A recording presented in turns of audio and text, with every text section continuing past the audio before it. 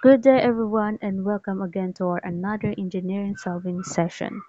So problem number one and second law of thermodynamics, the heat rejection by a refrigerator. So the food compartment of our refrigerator shown in the figure and it is maintained at the 4 de uh, 5 degrees Celsius by removing heat from it at a rate of 480 kJ per minute.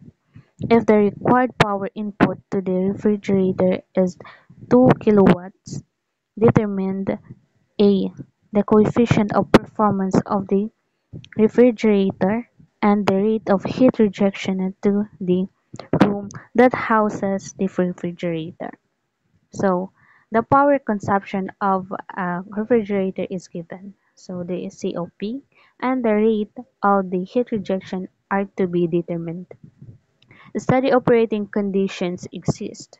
So the coefficients of perform performance of the refrigerator is COPR is equal to QL over the W net input is equal to 480 kilojoule per minute over 2 kilowatts multiplied by 1 kilo kilowatts over the 60 kilojoule per minute. So we have 4.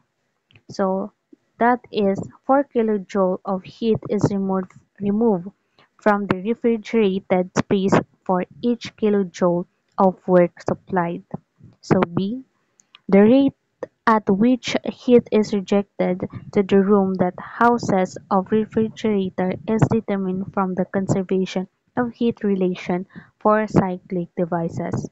So QH is equal to QL plus WNet input is equal to 480 kilojoule per minute plus 2 kilowatts multiplied by 60 kilojoule per minute over 1 kilowatts so we have the 600 kilojoule per minute. So the both the energy removed from the refrigerated space as heat and the energy supplied to this refrigerator as electrical work eventually show up in the room air and become part of the internal energy of the air. This, dem this demonstrates that energy can change from one form to another can move from one place to another, but but is never destroyed during a process. That will be all. Thank you.